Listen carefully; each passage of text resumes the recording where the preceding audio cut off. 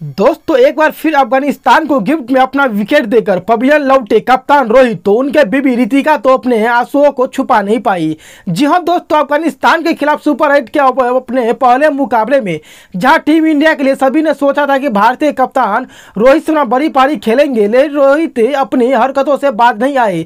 मैदान पर उतरते ही तीसरा ओवर लेकर आए फजल हक फारूकी के खिलाफ बड़ा शॉट लगाने के चक्कर में रोहित सीधा राशिद खान के हाथों में अपना आसान सा कैच थमा कर पवेलियन के शोभा बढ़ाने के लिए चले गए। जिनके विकेट के बाद तो मानो पूरा स्टेडियम मातम सा छा गया था। पूरा भारतीय खेमा मायूस था।